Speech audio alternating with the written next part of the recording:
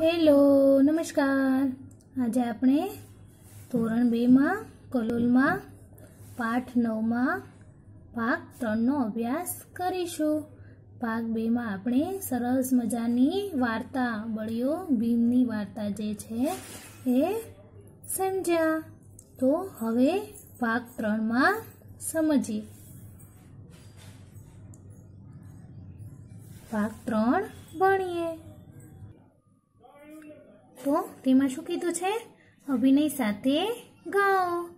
તો આપણે સરસ મજાનું દરિયાકાંઠે જે બાળા રાજા રમી રહ્યા છે, તેનું ગીત સાંભળીએ.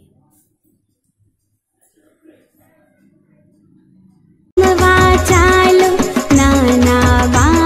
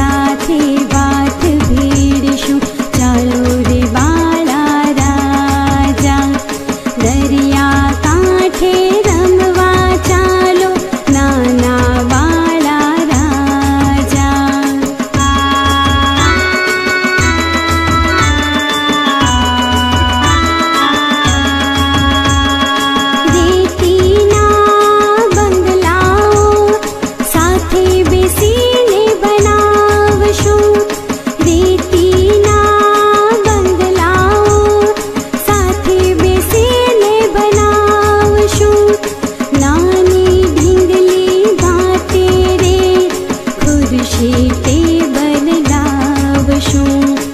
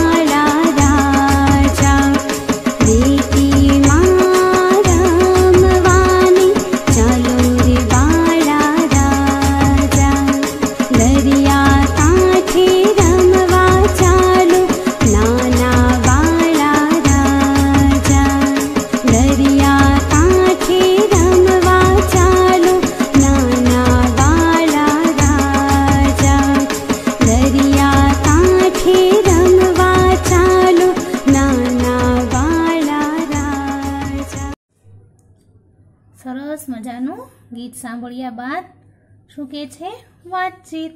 હવે જે બાળા રાજા છે તે સૌ પહેલાં આ ગીતમાં દરિયાકાંઠે જઈ જઈને શું શું કરી રહ્યા છે કેવી કેવી રમતો રમી રહ્યા છે તેની વાતચીત કરવામાં આવી છે. તો ચાલો જોઈએ. જોડકા જોડો અને લખો. તો તેમાં શું કીધું છે? બાળા રાજા દરિયાકાંઠે શું શું કરશે? એ દરિયાકાંઠે જે કરવાના છે તે ઉલટ સુલટ થઈ ગયું છે. એ સરખું કરીને ઉદાહરણ મુજબ નીચે વાક્યો લખો. તો ચાલો જોઈએ કોષ્ટક કે બાળા રાજા આ કરશે. તો અહીં બાળા રાજા લખ્યું છે અને બાળા રાજા આ કરશે તેમ કહ્યું છે. તો બાળા રાજા શંખલાની છીપલા, રેતીના દરિયામાં મોજા સાથે કાગળની હોડી, તો આકર્ષેમાં રંગો જોશે, બનાવશે, બંગલા બનાવશે, વીણશે, બાથ વીણશે એમાં જે ઉલટસુલટ થઈ ગયું છે તે આપણે વાક્ય જોડવાનું છે. તો પેલું છે શંકલા છીપલા. તો શું આવશે? વીણશે. ત્યાર પછી રેતીના બંગલા બનાવશે. ત્યાર પછી દરિયામાં રંગો જોશે. ત્યાર પછી મોજા સાથે બાથ ભીડશે ને કાગળની હોળી બનાવશે. તો આવી રીતે ઉલટ સુલટનું સીધું કરીને વાક્ય લખવાનું છે, જોડવાનું છે. મેં અહીં જોડ્યું છે, તમારે તમારા પુસ્તકમાં જોડવાનું રહેશે. તો તેમાં શું કીધું છે? પેલું તો ઉદાહરણ આપ્યું છે કે બાળા રાજા દરિયાકાંઠે શંખલાને છીપલા વીણશે. ત્યાર પછી બાળા રાજા દરિયાકાંઠે રેતીના બંગલા બનાવશે. ત્યાર પછી બાળા રાજા દરિયાકાંઠે દરિયામાં રંગો જોશે. બાળા રાજા દરિયાકાંઠે મોજા સાથે બાથ ભીડશે ને બાળા રાજા દરિયાકાંઠે કાગળની હોડી બનાવશે. ત્યાર પછી શું કીધું? શિક્ષક બોલે, તે લખો. હવે શું કે છે કે બળિયો ભીમ વાર્તામાંથી ચાર પાંચ વાક્યો પસંદ કરો અને વાક્યો પસંદ કરતી વખતે એવું ધ્યાન રાખો કે એમાં જોડાક્ષરોવાળા શબ્દો પણ હોય. તો અહીંયા આપણે જોડાક્ષરવાળા જે શબ્દો હોય તેવા વાક્યો ચાર પાંચ લખવાના છે. તો પેલું વાક્ય છે હસ્તિનાપુર નામનું નગર હતું. તો હસ્તિનાપુરમાં જોડિયો અક્ષર આવી જાય. ત્યાર પછી યુધિષ્ઠિરની વાત બધા પાંડવો માને. તો યુધિષ્ઠિરમાં જોડી અક્ષર આવી જાય. ત્યાર પછી ભીમને બહુ ગુસ્સો આવ્યો. તો ગુસ્સો અને આવ્યો બંનેમાં પણ જોડી અક્ષર આવી જાય. ત્યાર પછી કૌરવો તો ધ્રુજવા લાગ્યા. તો ધ્રુજવા અને લાગ્યામાં પણ જોડિયા અક્ષર આવી જાય. તો આવી રીતે વાક્યો લખવાના છે. મેં અહીં પુસ્તકમાં લખ્યા છે. તમારે તમારા પુસ્તકમાં લખવાના રહેશે. ત્યાર પછી શું કીધું છે? કોણ બનાવી શકે? ખાનામાં લખો. હવે અહીં માનવ સર્જિત જે વસ્તુ છે, માનવ નિર્મિત જે પદાર્થ છે અને કુદરતી પદાર્થ છે, તેઓના અહીં નામ આપ્યા છે, જે આપણે અલગ પાડીને લખવાના છે. તો શું કીધું તેમાં? નીચે આપેલા શબ્દો ધ્યાનથી વાંચો અને વિચારો કે આમાં એવું શું છે જે માણસ બનાવી શકે? એવું શું શું છે જે માણસ ન બનાવી શકે? તો અહીં આપણને નામો આપ્યા છે. શંખ, છીપલું, માળા, કાગળની હોડી, રેતીના બંગલા, આકાશ, માછલી, પાણી, રેતી ડીંગલી ખુરશી, ટેબલ, સૂર્ય. હવે આ બંને ખાના માટે ચાર, પાંચ શબ્દો ઉમેરો. તો હવે આપણે અહીં જે માણસ બનાવી શકે અને માણસ ન બનાવી શકે તે વસ્તુઓના નામ લખવાના છે. તો માણસ બનાવી શકે તેવી વસ્તુ કઈ છે? માળા, કાગળની હોડી, રેતીના બંગલા ડીંગલી ખુરશી, ત્યાર પછી ટેબલ. હવે માણસ ન બનાવી શકે તેવી વસ્તુઓ તો તેવી કઈ કઈ વસ્તુઓ છે? શંખ, છીપલું, આકાશ, માછલી, પાણી, રેતી, સૂર્ય વગેરે માણસ ન બનાવી શકે. હવે માણસ અમુક વસ્તુ બનાવી શકે છે અને અમુક વસ્તુ કુદરતી એટલે કે ભગવાન દ્વારા બને છે. તો શંખ, છીપલું, આકાશ, માછલી, પાણી વગેરે જે છે એ કુદરતી છે ને માળા, કાગળની હોડી, રેતીના બંગલા, ઢીંગલી, ટેબલ, ખુરશી જેવી વસ્તુઓ છે તે માણસ બનાવી શકે છે.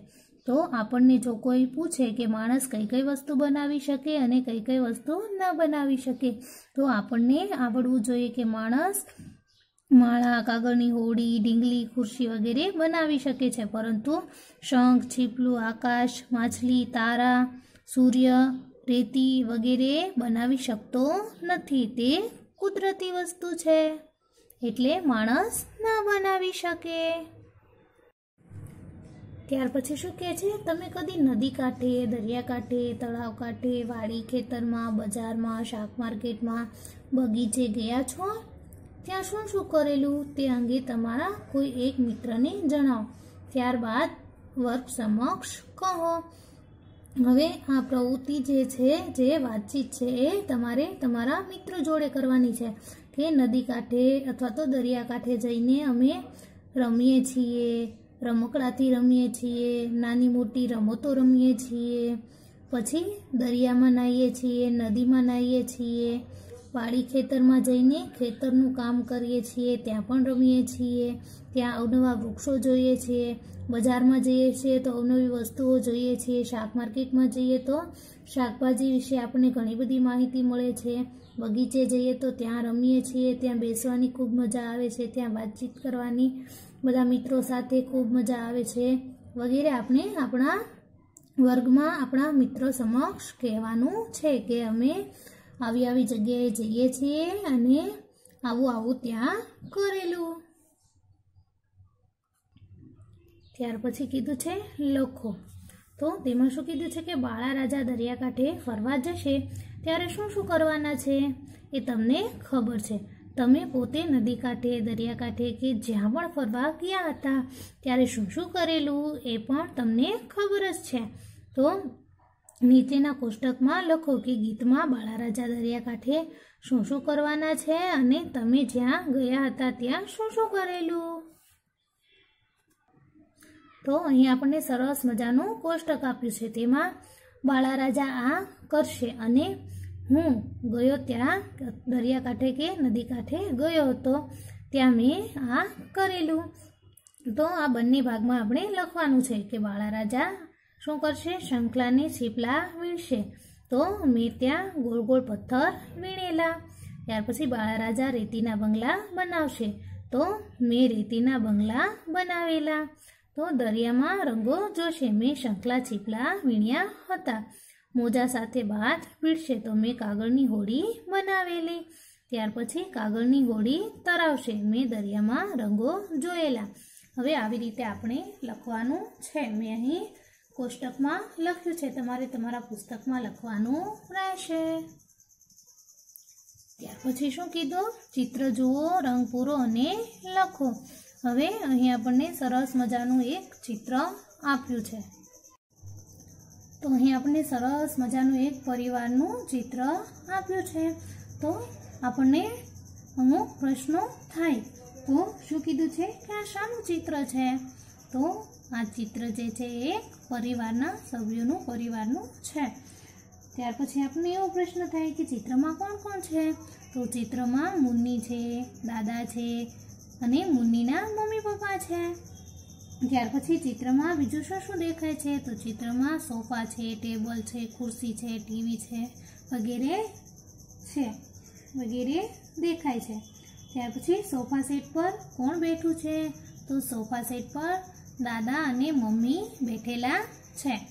ત્યાર પછી તેઓ શું શું કરતા દેખાય છે? તો તેઓ શું શું કરે છે? તો કે પપ્પા છે, ચા પી રહ્યા છે મમ્મી મોબાઈલ જોઈ રહ્યા છે. દાદાજી ન્યૂઝપેપર વાંચી રહ્યા છે અથવા તો મુનિને વાર્તા કહી રહ્યા છે. એવું કરતા દેખાય છે. ત્યાર પછી આ નાની છોકરી શું કરે છે? તો આ નાની છોકરી જે છે એ વાંચી રહી છે અથવા તો દાદા પાસે વાર્તા સાંભળી રહી છે. તો હવે ચિત્રમાં આ છે, તેના પરથી આપણે વાક્ય લખવાના છે. કે આ મુનિનું ઘર છે. દાદા મુનિને વાર્તા કહે છે. મુનિ, મમ્મી, મુનિની મમ્મી જે છે, મોબાઈલ જુએ છે. તેના પપ્પા ચા લઈને આવ્યા છે.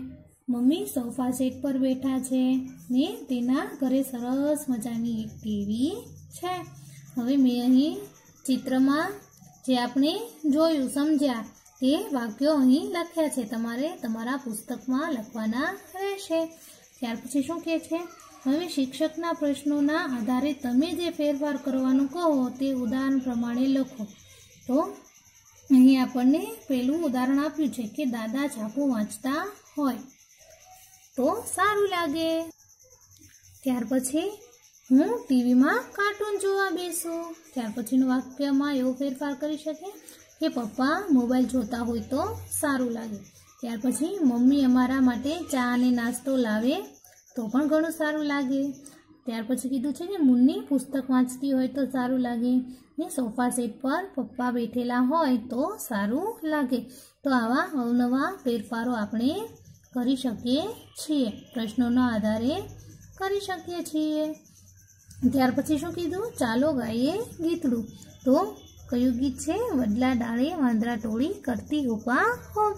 હવે આ સરસ મજાનું ગીતડું આપણે આગળ જોયું. તો હવે તમે તમારા પુસ્તકમાંથી સરસ મજાનું ગીતડું જાતે ગાઈ શકો છો. એટલે તમારે જાતે ગીતડું ગાવાનું છે અને ગાતા ગાતા સમજવાનું પણ છે. તો આજે આપણે પાઠ નવ. અહીં પૂર્ણ કરીએ છીએ. આપણે સૌ તોફાની જે આપણો નવમો પાઠ છે તે અહીં પૂર્ણ કરીએ છીએ.